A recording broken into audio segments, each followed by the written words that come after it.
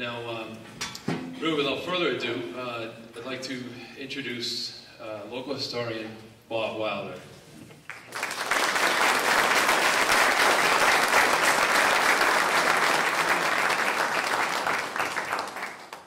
Um, Any of the, uh, any of the um, uh, people, Ernestine, I'm glad to see you.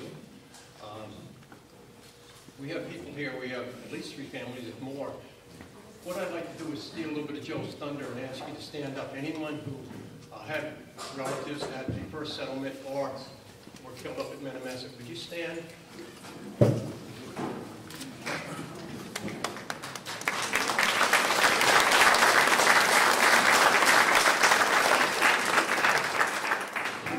There's really a method to my madness. I have a list here of all of the men who went into the Metamasset Valley. The Indians, uh, the selectmen, uh, the people, where they came from, representing seven towns. If we- anyone who's interested in a copy of this, uh, say so. I only made 20 copies. Good. we'll cover it. All right, after the talk, please come up here. Well, Joe will pass them out. Just raise your hand. And you'll find this useful when they uh, go down to the Metamasset. You'll be able to perhaps be- better understand what happened there. Now, while Joe's doing that, uh, on behalf of the greater Brookfield, which made up a total of six towns, uh, I want to thank you all for being here. This is the kickoff celebration of our 350th anniversary. Uh, Consequently, uh, this is really important to us, and uh, we're glad you're sharing this with us. Now, to give you an idea of how long people in this community and and Brookfield have been searching for answers to discover where this atrocious uh, act happened, the militia representing the English Army in America for the first time in what is now America was defeated in the field and had to leave the field uh, defeated. And uh, so it's important that we know and understand a very important historical event that happened, and it happened here in New Braintree.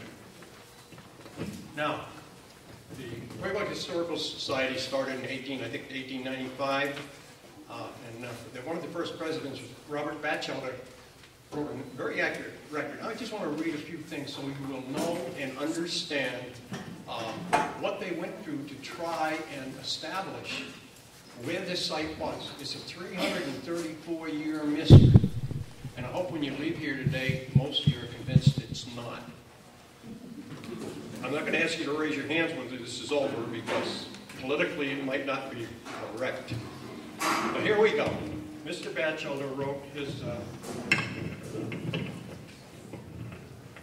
Mr. Batchelder, in his, in his speech, which I have here, uh, wrote the following. The fall day in 1895 fell to our good friends of New Braintree, with whom we are foregathered on October 1st. All hands meeting at Sucker Brook below the Pepper House. You'll be going there today. And driving thence to Winnemesset Meadows. You'll be going there also. So that we might see for ourselves these two rivals for the honor of being seen Wheeler's Surprise. There's actually two more spots, and I'll touch on those. At the exercise, which followed in the afternoon, the topic was much booted, one of where Wheeler's Surprise actually occurred. And it goes on to name where everybody had their opinions. And they appointed a committee to examine these spots and come back to the society with their idea of where it occurred. Now we move ahead. We don't get an answer from the committee right away. New Braintree is a little farm town and people move slow. So we jump ahead another couple of years. Says it was a rare day, the 8th of September 1897, and all hands turned out. I guess it was the largest procession that section of our district ever saw, and everybody was greatly surprised. It probably was no bigger than the group we got here, though. This is very impressive.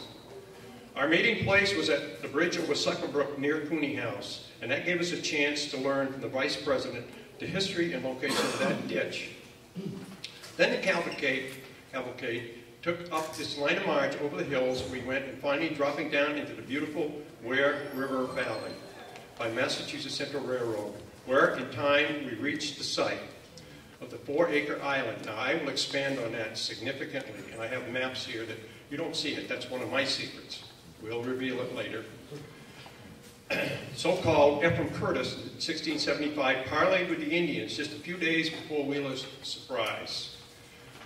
It was but a short distance thence, through some fields, to a most romantic spot on the bank of the Ware River, where in 1675 the Indians had an important village with barns and storages of corn. I have mapped that. You will see that map, and I'll describe that map to you. The day had an added import, importance in that it brought back to us the active member of our president, who was uh, the former president of, um, of, of, I'm sorry, the governor South Carolina. Stand in the corner. Now, before I get going, I want to bring one man, lived in New Braintree for a while. This is a very significant man because this is a guy, long gone, who spoke through his pages, uh, to give me a clue that started this whole thing back 20 years ago when I began investigating this. I actually spent nine years working on this puzzle. So let me read you about this fellow. His name was Rufus Putnam. Now, Rufus Putnam, uh, dad died when he was seven years old. His mom remarried and he lived with his stepfather until 1753. He never got a chance to go to school he got a job at the tavern and earned enough money to buy a musket and shot. And he went out and he shot game and he sold it to the tavern. And with that money, he bought books. And you know, he's self-educated. He taught himself how to, how to read, uh, how to do math, but he didn't know how to write. He had never learned the fine art of writing. Eventually, he joined the army when he was 17 years old and he learned to write in the army. Now, this guy went on uh, to become a brigadier general and a personal friend of George Washington. That's pretty impressive. He was also the chief engineer for the Continental Army, and he designed uh, so many places. He built the defenses of Roxbury and Dorchester, uh, Brookline, and he set up the defenses at West Point. You remember Major Andrew from the British who got caught there? And uh, with his collusion with Benedict Arnold, and uh, they ended up hanging him. These are the plans he was after. now, I'm going back to Batchelder again. Uh, he talks about this gentleman uh, actually being farmed out to what is now a section of North Brookfield. He, uh, he actually uh, worked for his brother-in-law. And he was denied many of the things. What he wasn't denied was an opportunity to study, seeing as how he bought the books. So one thing is the brother-in-law bought candles for him. So with that, I'll retire this book, and I'm going to bring back this really wonderful old book. This is an original written in 1828. Now Wheeler, who brought his uh, militia into, into this valley, uh, there are a lot of reasons why he shouldn't have done this. A lot of reasons. A good military man would say, you know, something's wrong with this, and you'll see why. But at any rate, when he wrote his uh, uh, summary, uh, it's a 20-page summary, there was only about three copies, and it was scarce and rare.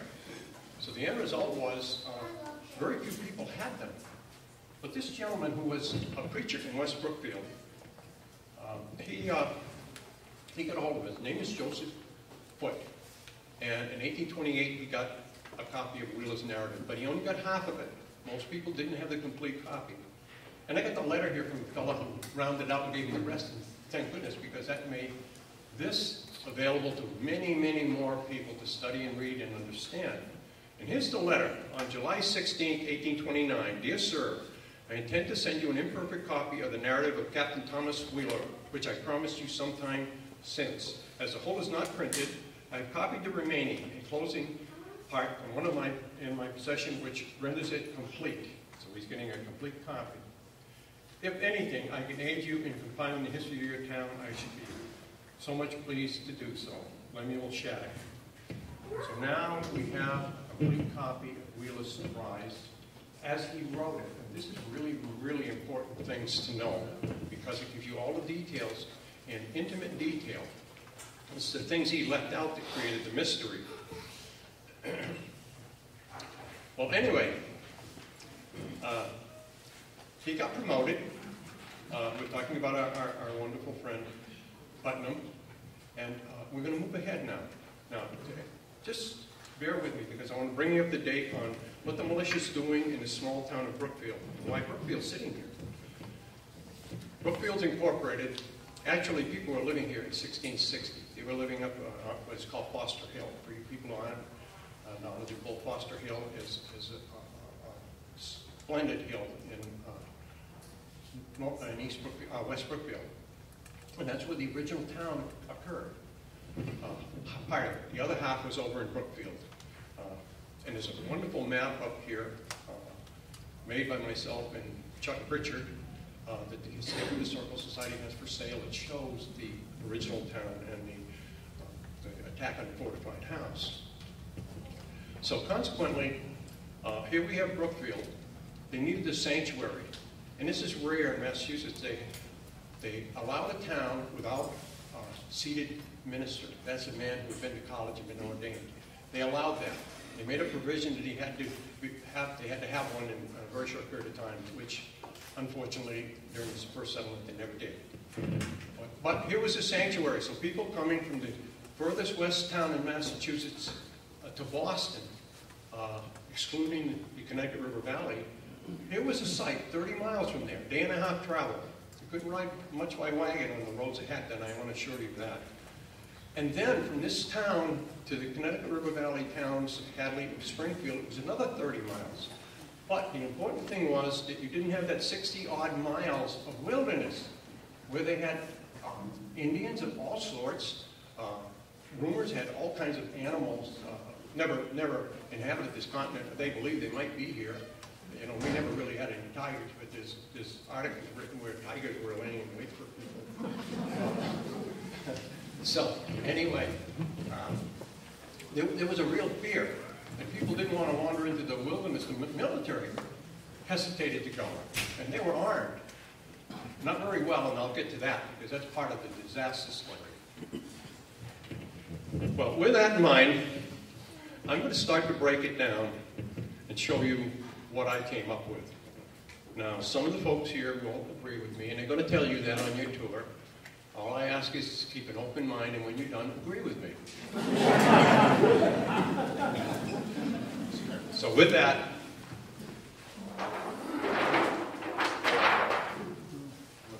I'm going to drop this map here and show you.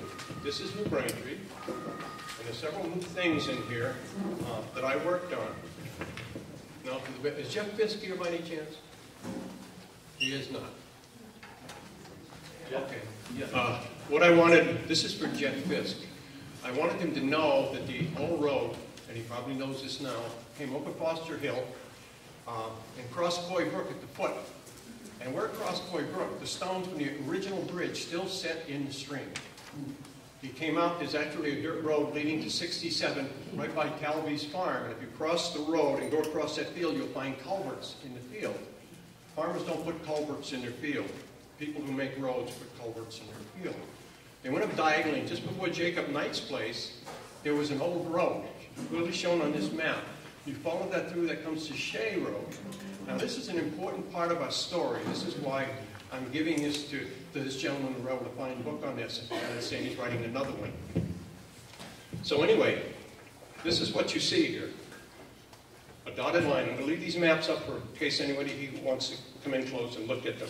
This is the dotted line that leads up through uh, the areas that I just told you. And by coincidence, it runs nearly parallel with a line of areas that different people thought that this uh, event occurred. And I'll expand and go into that for you. Now, when the militia arrived in Brookfield, uh, they arrived August 1st, 1675. Now, the militia, and you have your, your notes there, the militia had two captains. Captain Hutchinson was a representative of the General Court. He was going to negotiate with the Indians, try to convince the Nipmucks not to join the Narragansett. in a war against the English. The uh, uh, Ephraim Curtis, who eventually became the first settler in Worcester, Mass, he uh, was going to be the interpreter. There were three Indians uh, from, uh, from the east, George Memecho and uh, Samson and Joseph Robin. They have another name, it's on your sheet. Uh, Indians change names frequently. Uh, and then they had 20 mounted horsemen. On top of that, when they were going into Minnesota, the three selectmen in town were going to go with them. And because they were so confident they were going to meet with this Indian chief Panawasco, who they called David. He was a Christian Indian. He believed in the same God that we do. That they went unarmed. And they convinced the militia when they stopped, and I'll give you this detail in a minute, to go further. Actually, Conowasco was over on South Pond, so he was several miles away at Camp Hoboduck with his followers. But at the uh, camp uh, in the direction they were going, they had another chieftain. He was a little different. His name was Metom, and he has several of the pronunciations to that. And he's the gentleman that destroyed Brookfield. He's the gentleman that went on uh, to destroy Lancaster uh, the following February. They didn't meet the one they wanted to meet. They ran into the troops of uh, the one that they really weren't worried about because they weren't thinking about him. So anyway, Ephraim Curtis met with the Indians on August 2nd. The militia arrived in Brookfield August 1st. And they met with him on August 2nd. They went to a field three miles away.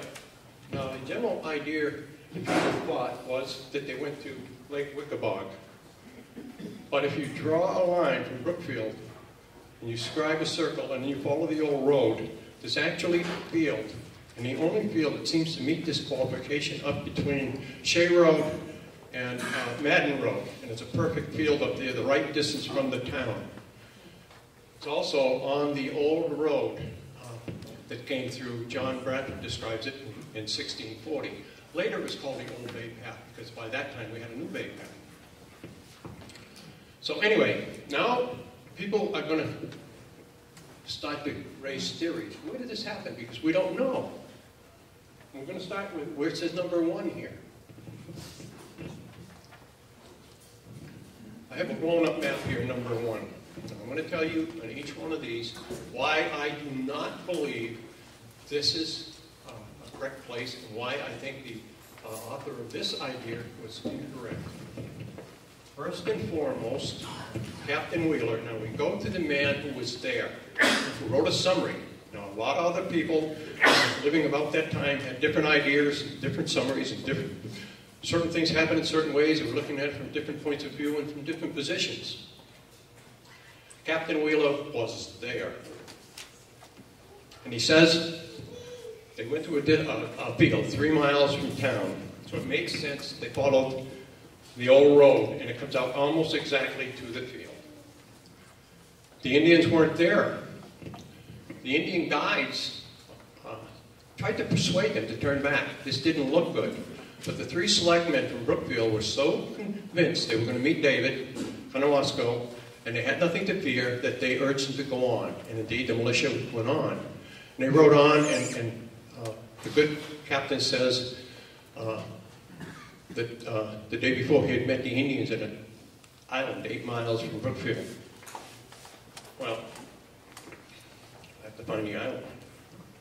Heavens knows I hope everyone as lost as I am.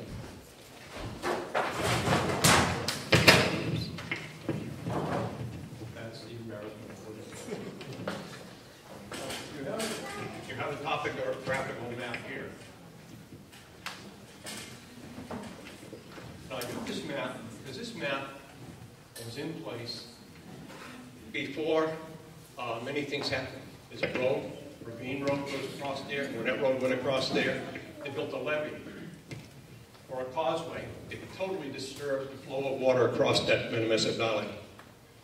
So you see, this, there's a, a remarkable change that happened there. Something else happened to it, and I'll get to that.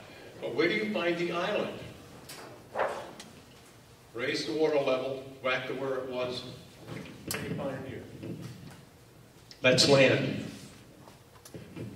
And it's approximately, it's approximately four acres. You'll notice it's right in the bend of Slane Road. So with that, we find the island. That's the only island northwest of Brookfield. And that's what the report says. It was northwest of Brookfield, eight miles. That, that island is eight and one-tenth miles following the old road in the town of Brookfield. So that identifies the island. This is where the group were heading. They were heading to that island. When Wheeler writes that they had to travel single file through a defilade or, or uh, section where the brush and a rocky hill rose to his right, and it was a hideous swamp to his left. So this is the choice of going down that very narrow valley. Now I'm going to branch back to where different people had different views. This is jo Josiah Temple wrote a history of North Brookfield, which included all of the Brookfields in the first section of it. Uh, and he wrote that in 1887. Now, he was a preacher. We, uh, in our story here, we have uh, one preacher and two doctors giving their opinion. Uh, I'm not downing, I'm just saying they had a lot of help. They had a lot of people working for them, and they took different points of view. Took the best one and wrote it down in this book, so that's their solution. And he puts a spot right under the New Braintree line. It's a little over five miles from the center of town, but Wheeler said they went a total of eight miles. And my measurements make it eight and a quarter. So Wheeler and I agree. They said they had a steep hill. The hill at, at this site, and that's going to be the site you see today, Joseph Temple site. The hill there is uh, a little over 50 feet in elevation. Not steep, but it's 50 feet in elevation. Stop and think of that. 50 feet, a horse running up 50 feet can get away fairly easily, compared to what I'm going to tell you later. So with that, I'm going to try not to have a disaster here. With that, I'm going to go to the second site. This is site number two. Now, we had a Dr. Roy who professed he wasn't a historian, but he worked very hard. He wrote a couple of books about Brookfield. Thank goodness he did because he brought people's attention to this very important little community who played so much in the history of New England and the history of our country.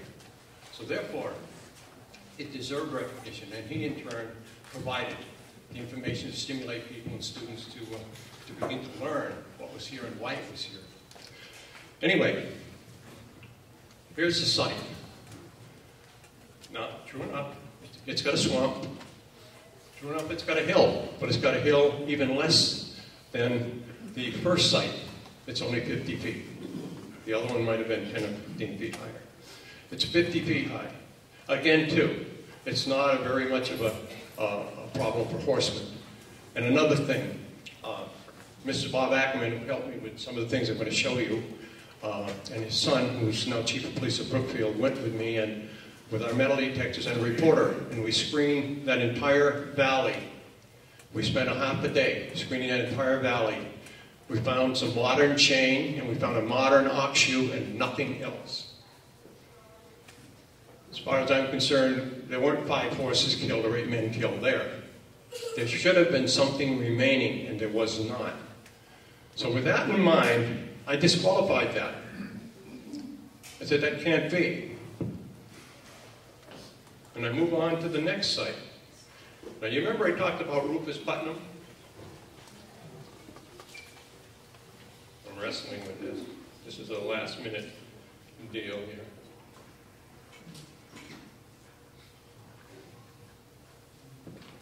Remember I mentioned Rufus Putnam? Rufus Putnam came up with a site, which is right here, right there. It's right at the section where uh, Slane Road takes a sharp left bend and McKay Road continues on. At the time this map, McKay Road was not a road, it was a, just a, a cart path leading to a house at the end of the, uh, uh, end of the line. That was as late as 1937. So anyway, This is where he said, we found some things here. I'll tell you about that in a few minutes.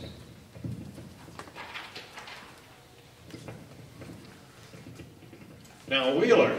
Wheeler says that he moved into the valley uh, 65 rods. Now, he, remember, there's 29 horsemen. So I allowed uh, 15 feet for each man and horse with space between.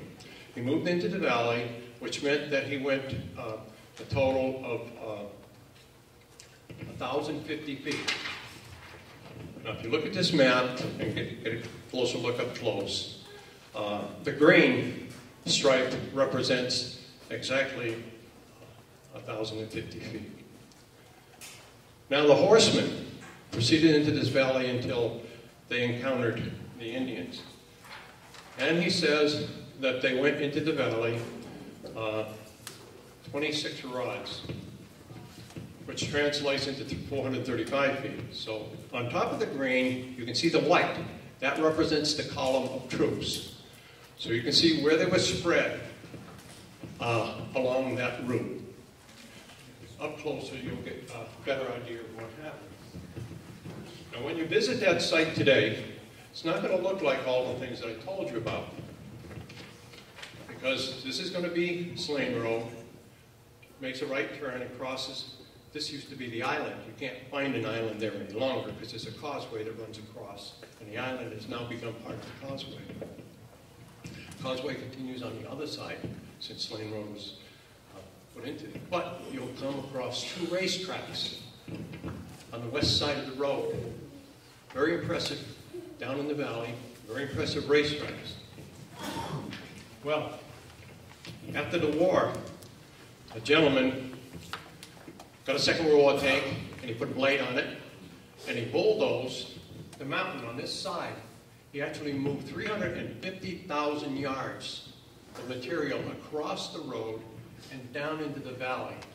Now, at Metamesset, we had five horses and we had eight men killed. There has to be some remains. I suggested a big part of those remains might be buried under there, but there are other places. Well, for clarity, see what it looked like, all the hills and what have you. Clarity, this white section is all the material that has now been bulldozed away. Can you see that? Okay, and you're going to see that. There's going to be a house sitting back in here. This helped to destroy it, but the chain of evidence leads right to that pit. And I'll get to that at the end of this talk.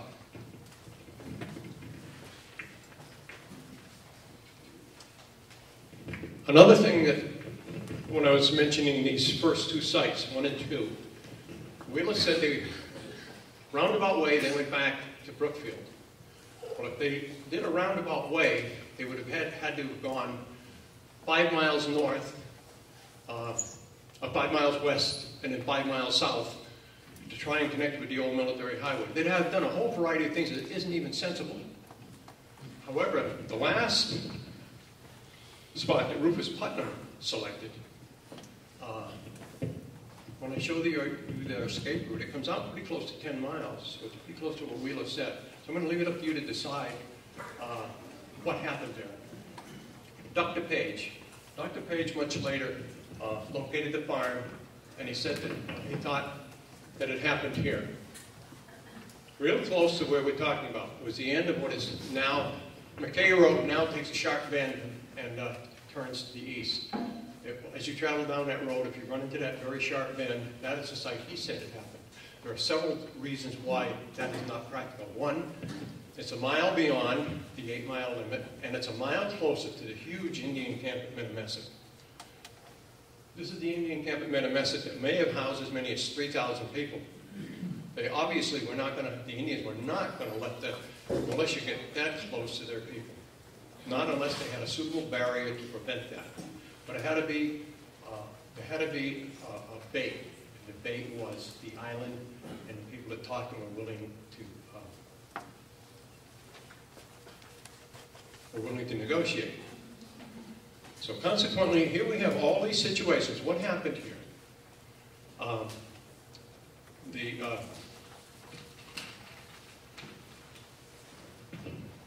the monument. for Wheeler, the town, good people in town of put a monument down on that road many, many, many years ago. And sometime a little later on, a gentleman came along, and he said, well, we don't get much traffic on that road, I'm going to move it. And so the selectman in uh, Hardwick, actually lived in Wheelwright, said that he went down with his horses, grabbed a hold of the monument, and he carried it across Slane Road and up the hill, and he put it right in front of his house. And it sat there ever since until the Historic Society, and uh, just, I believe, last year, uh, went over and they looked the situation over. They wanted to put it over there. The owner had some uh, problems. Some of the people on the board had problems, so they put it in a very nice spot. And if you go there, the only problem is you're on the opposite side of the valley that Wheeler was on, but you look down into Minnemesset Valley and you look down into the proximate site of where it happened. So it was well placed and it was well done considering there was a compromise. So my compliments to you folks for doing that. Now, uh, the Indian camp.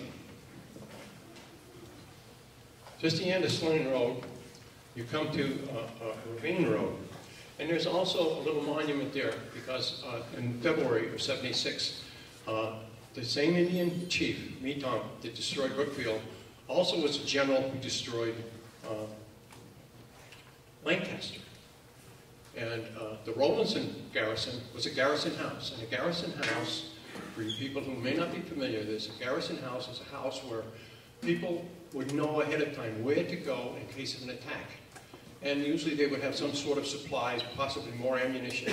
And usually the bottom 30 inches of the house had sometimes vertical logs split in half and interlaced one on the other so that you had mass to stop the uh, bullets from coming through. Uh, when they attacked Brookfield, the Indians were using tactics that were not common to Indians in North America. They took a wagon, they were up on a hill at a barn from where the fortified house was, and in that fortified house, uh, there were actually 99 people in the house. Uh, they, know, the people from the town who escaped there, all of them didn't make it, but the ones that escaped there, uh, and the, what was left of the militia who came back to town through this roundabout route, and they were there. So you had 99 people there. Time for a little uh, story. I was giving a tour of the uh, original town site, and a little boy kept raising his hand and raising his hand. He was very attractive. I kept forgetting what I was doing. And he said, you said it was the dog days in August. It was awful hot, and you had, you had all those people in the house. And I said, yeah. Says, well, could you tell me, mister, it must have stunk in here, didn't it? you know, out of the mouth of babes, I'm telling you. so now he's giving me something to mention from each one of talks. Uh, that little boy's a big man now. But at any rate, uh, the Indians uh, used wagons, two-wheel ox wagons, loaded with hay and, and uh, debris that would burn. And through a series, they added to the tongue of that until gradually they wheeled it down against the fortified house. They had one difficulty though, their flame arrows, they couldn't get close enough to the fortified house to shoot the arrows in, so they made another vehicle. And that had a wooden front. So it gave them a shield. And then some of them wheeled it down while the men with the fire arrows were behind the shield, and they were able to fire into the wagon, and they started the wagon burning. Well, once they put it out the second time, it was starting to burn, to burn very well. And the Lord interceded, brought down a summer rain, and he got it wet, and the Indians couldn't get it going again. So fortunately, it saved these people, so we know what happened as a result of that. If not, that would have been a mystery among everything else. Now, I'm going to move ahead. The Indian camp is here, and it's quite clear it's the Indian camp because all along the way I found all these assorted things, friends of mine, assorted chips, uh, quartz, blue quartz, black flint, all in segregated areas. You can get a definition, an outline of where certain people from Massachusetts, because the Indians, after the uh, assault on, on, on Wheeler and the success of that, they came from all over Massachusetts to aid now their allies. And they felt they had a winning team. And you can see where they were located, all these dotted lines, and those of you interested uh, may come up and look at this later. And what's interesting is the end of this one field, the long field, uh, right behind the marker, there were five roots, uh, root cellars now, For you people who don't know what a root cellar is, it's a gravel hill. They dug into the gravel hill several feet, lined it with hay. Then they would put their corn in there, cover it with more hay and then more gravel, and it would stay uh, good. It, it stayed good for years. As a matter of fact, when the railroad went through in East Brookfield, they had a place called Fort Hill. And uh, the uh, Indians had a place there in earlier times. And when they dug into that hill, they found baskets of short ears of black corn, still edible. And this, this was uh, how many years? 100 years, 150 years later. So it goes to show you these root cellars work, and these, these Indians were really, really clever people. I'm not saying that because there might be Indians here, but I'm going to scout today. Now, I'm going to come to the end of this and, and show you what we all came here to see. Find the island.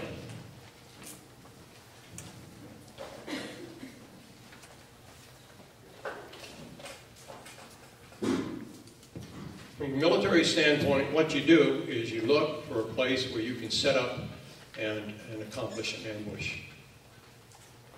Now remember, I'm working from Wheeler's description. There are a lot of other people who had a lot of other ideas, but there's nothing better than the person who was right there at that point in time.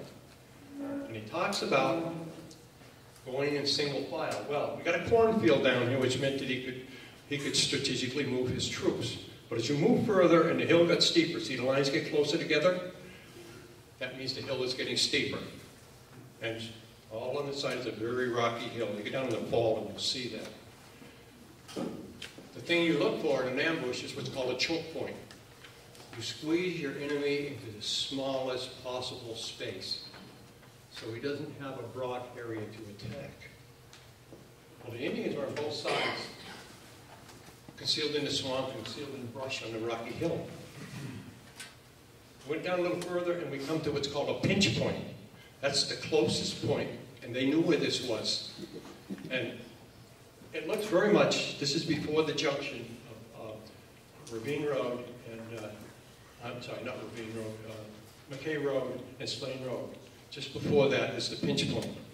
And the three selectmen, undoubtedly unarmed, uh, were going ahead with one of the Indian guides because George Memecho, Meko, uh, he was captured at that onslaught. The three selectmen were killed. The two captains, Wheeler and Captain Hutchinson, were wounded. And five of the militiamen strung out behind him uh, were also killed. And five were wounded. And those people have a list We'll see who they are and where they come from. The Indians, the other two Indians, uh, Joseph and Samson, had warned uh, the officers, you can't go back the way you came because Indians worked this out pretty well and they'll cut off your route of escape. So they turned to the Robin brothers who helped them. And they gave them an escape route. And the Robin brothers took them in a roundabout way that the captain said would take them 10 miles from Brookfield. And coming up through Metamasset on a bias now, right at the choke point, the troops begin to move diagonally across that hill because a horse is not going to run up a hill that is 400 feet high.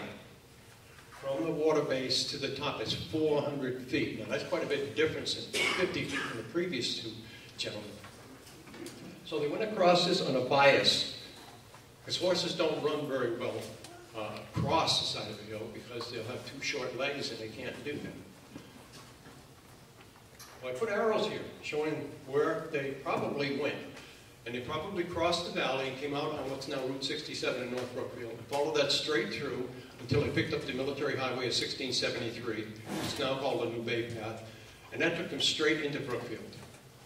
And that is approximately, slightly more, but approximately 10 miles. And it meets with everything that, the good uh, uh, captain said. Now, evidence.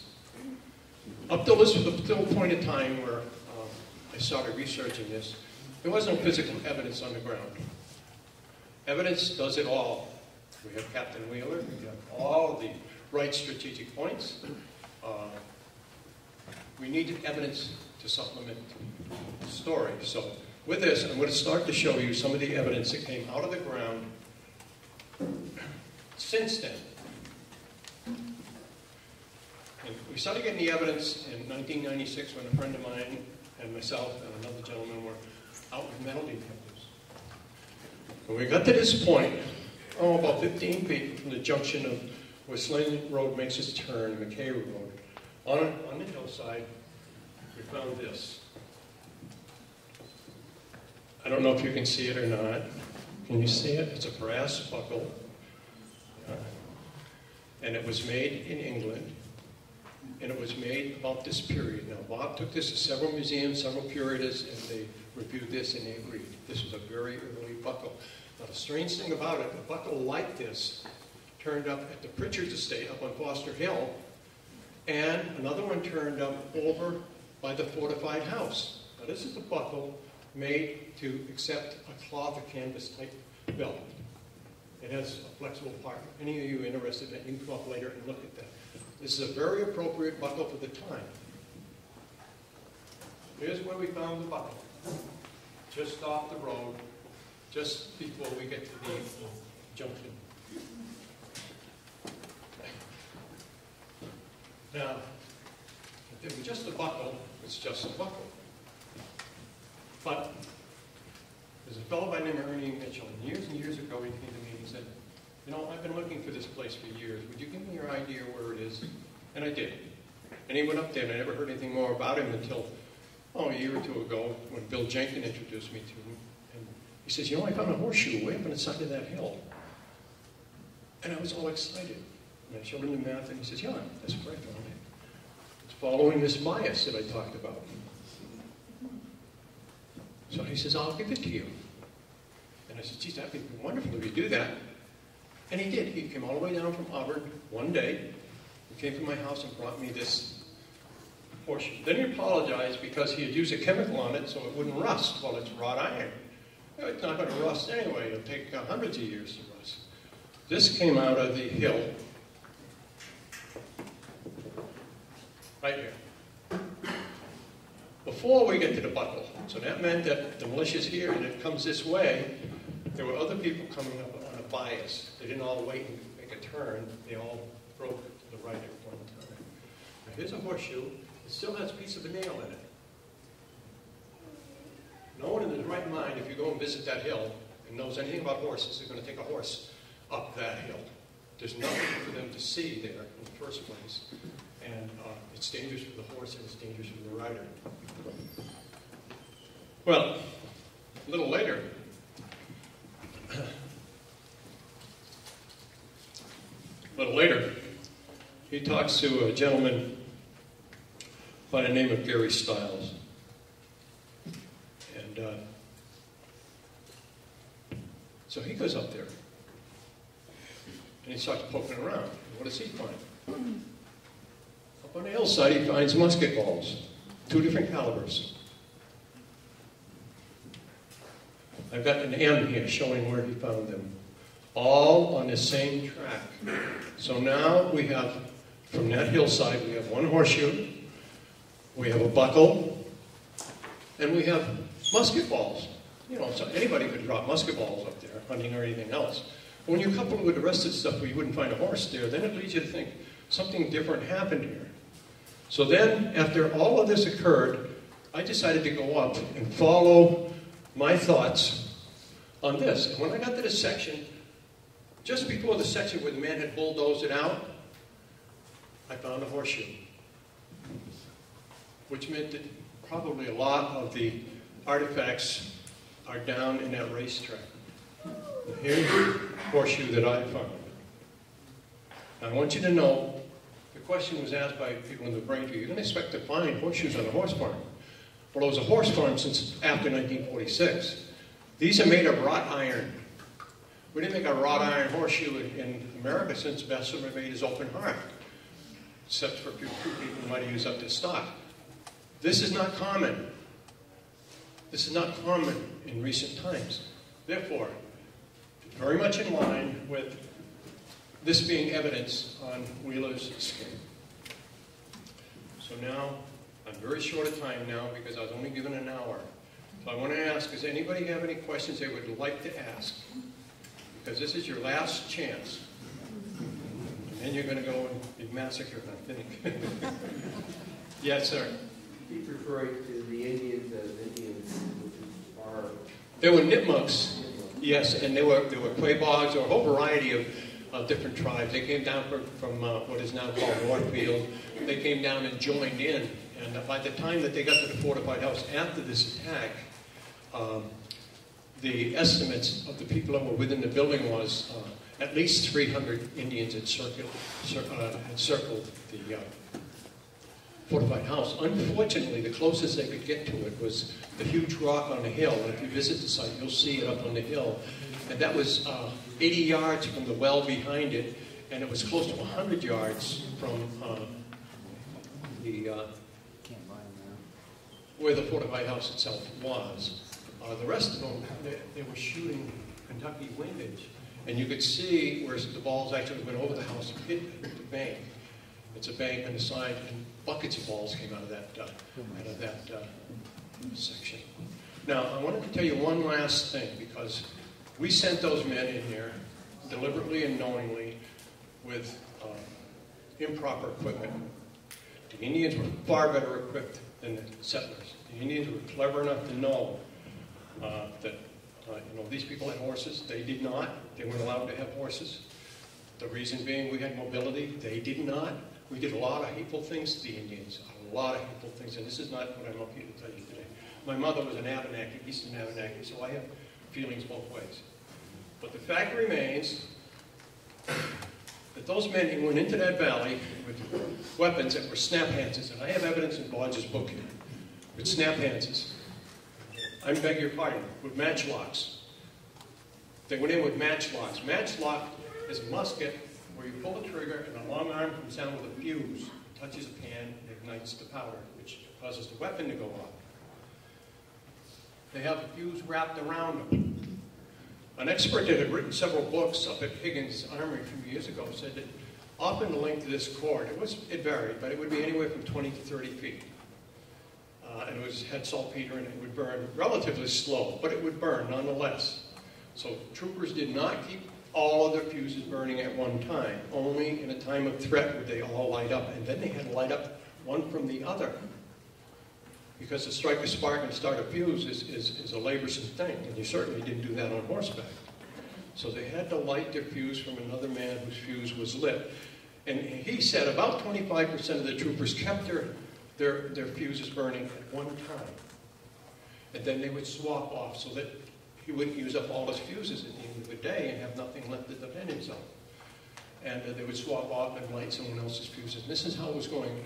And I have reason to believe, because of the disaster, and there isn't a lot of reports of Indian dead from people that were there, um, the uh, gentlemen were ill prepared, and there might have been as few as a half a dozen rifles that were capable of firing back. Now this is this is startling. Bodge writes an ex excellent thing. I won't bore you by reading it, but just before this happened, the Massachusetts Bay ordered uh, 500 snap hances, which are early flintlocks, which are very efficient weapons. A piece of flint, you don't have a fuse. You just charge the pan, pull a hammer back, and load it, pull the trigger. Even in the rain, if you use a piece of leather cover it, you can continue to use that. It's awfully hard to work with a fuse item in the rain, keeping the fuse protected and burning, put powder in, and it's also very dangerous because you're putting powder in a weapon on hand. You have certain procedures you have to follow, and in the excitement, it's hard to believe that if they did that, they would have blown themselves up. So with that, uh, anyone else have any questions? Yes, sir. Well, they, they started out, we don't know precisely when it happened, but they started out uh, and they went to uh, the field three, three miles away. And they stayed there for a period of time, waiting for the Indians to meet with them, which Ephraim Curtis said they had agreed to do. Now, it didn't happen that way. The Indians didn't show up. And that's why the selectmen urged them to go on uh, further. They were going to go up to the island, or it seems they were going to go up to the island. And uh, consequently, uh, they, uh, that's when they met their, met their doom. Uh, so consequently, it's hard to tell you exactly what time of day, but it was time of day enough so that they got back to the fortified house before dark. One story that, that tells you the magnificence of the colonial women Uh, the eastern part of town, there were, there were actually uh, three houses, a mile, slightly more than a mile from the rest of the town. Uh, that was in what is now Brookfield. And there was one lady there named Mrs. Trumbull. And uh, her husband was a traveling man, and he had gone to, to uh, Springfield on an errand for somebody else. Surprisingly enough, he was bringing back liquor. But at any rate, she was there alone, and militia rode through. They came from the east, and they had to pass the road to get to the fortified house. So they told her that what was going on, and they continued on their way. Well, this lady had a one-year-old child, and a child born the day before this happened. And she had to walk more than a mile up a hill, a rather steep hill, and down Devil's Elbow, which is a rock face that makes a right angle and drops 40 degrees. She had to walk that distance carrying those two children, and she got to the fortified house in time to be safe. So my compliments to that elderly woman. There's several are like that. Okay, any more? No. Where is the fortified house exactly? The fortified house is on Foster Hill in West Brookfield, and there's big stones up there to identify the site of where it was, and the meeting house and so forth. So if you take a trip up there, uh, up Route uh, uh, 9, uh, you'll see the road to Foster Hill, go up there, and you'll see the nice horse barn right across from that, you'll see these stones. Can I ask one more question? Yes, How did they know they were going eighty miles? Back in the sixteen hundreds, what did they use to measure in, in wild? it was estimates, but it's, it's terribly important how accurate they were, because Woodford and Saffery made a map from Boston to Springfield in uh, 1648.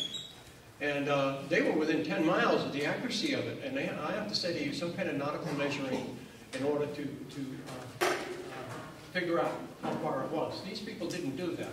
This is an estimate from service, how fast does a horse go, how far does a horse go, and so they estimated. So all of these times uh, uh, and lengths actually are estimated.